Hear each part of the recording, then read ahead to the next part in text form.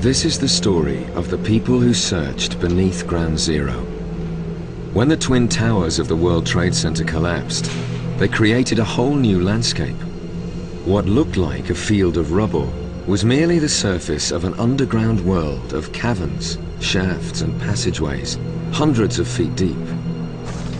With access to the extraordinary footage shot by the emergency workers, this is the untold story of the search for the victims of 9-11.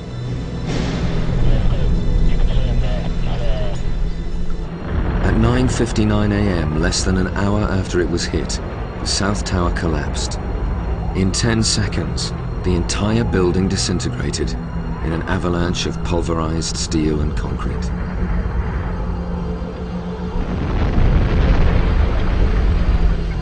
Thirty minutes later, the North Tower also collapsed. A city in the sky burst apart into a scene of complete devastation. It fell to the ground with such destructive power, it created a whole new geography of broken steel structures and mountains of rubble spread over a wasteland the size of 16 football pitches. Those that could help were actually allowed to join in. One of them was retired firefighter Lee Ielpi, who was desperately searching for his son, Jonathan. I met up with many dads that were looking for their sons. Many sons looking for dads. I saw people from Squad 288. That's Jonathan's house. I saw them. They saw me. As well as retired firefighters, construction workers also descended on Ground Zero and offered to help. And so the searchers became an extraordinary mixture of professionals and volunteers, bonded by a common knowledge that somewhere beneath the surface lay their family and friends. In the days ahead, the rescuers would risk their lives entering the voids deep beneath Ground Zero.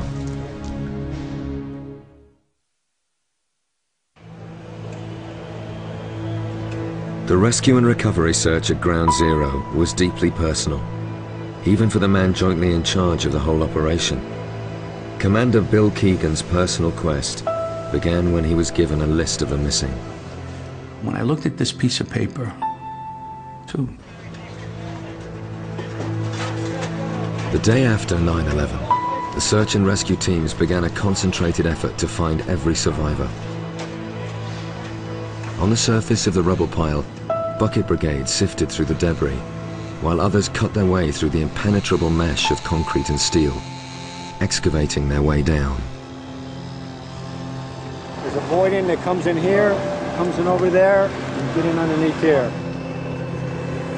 Where chasms and voids opened up, rescue teams were sent in to explore.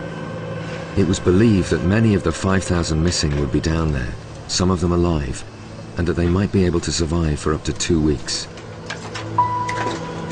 As they made their first tentative steps into the darkness below, they spray painted their path downwards in case they were trapped in a fall. Even descending the first 20 to 30 feet was very dangerous, but it was a risk worth taking for Lee Ielpi, desperate to find his firefighter son, Jonathan. We thought, well, we have a, a grace period here. We've got two weeks just to get into as many of these cracks and crevices and get down deep to find them. Going in, if you had to stop and sit down and think, you might worry that, man, I, this thing could come down any minute. So you just kept your mind active. During the first 50 feet of their descent, the rescue teams were confronted by a mass of twisted beams and crushed ceilings. Then they began to find signs of what had been there before.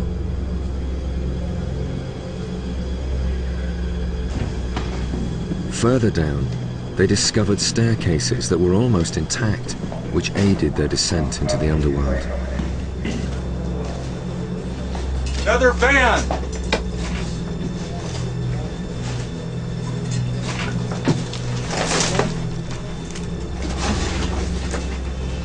The deeper they went, the more preserved everything was.